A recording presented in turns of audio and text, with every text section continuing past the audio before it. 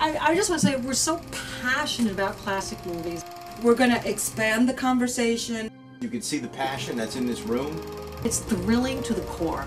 Put a new spin on some vintage films. It's classic movies and more. Hi, I'm Rob Medaska from Classic Movies and More. It's October. It's time for some horror moments. With us is Bob Furmanek. Well, hello, Rob. Uh, I've got a pretty interesting story about Frankenstein, if you'd like to hear it. Absolutely. Scare away. Okay, well, it is scary in, in certain ways. Around 1990, I was uh, doing research for our book, Abbott and Costello in Hollywood. And we found that uh, one of, uh, actually, Bud first movie, One Night in the Tropics, had been edited from 83 minutes to about 69 minutes for reissue. And we brought it attention to the archivists at Universal, and uh, thankfully they were able to find that missing first reel, which has been restored to the film. And uh, I built up a friendship with a wonderful guy by the name of Mike Fitzgerald, and he was kind of the uh, you know archivist at the studio who would look for missing material and everything.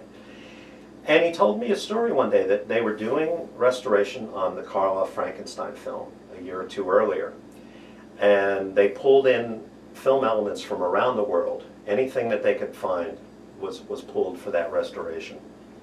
And the uh, cans were sent to YCM Labs in Burbank, which was handling the, it was all done photochemically. Mm. And one of the cans just was labeled Frankenstein, and Pete Comandini worked at YCM at the time. Excuse me, he opened this can up, and there were three small rolls in it each of the same length. Turned out that they were uh, yellow, cyan, and magenta records from a Technicolor test done for Son of Frankenstein in 1939. 39, yeah. And very early on in production, they were considering color photography for that film, but it was dropped. Uh, and but this Technicolor test footage survived. So both Pete Comandini at YCM saw it, and Mike Fitzgerald at the studio saw it.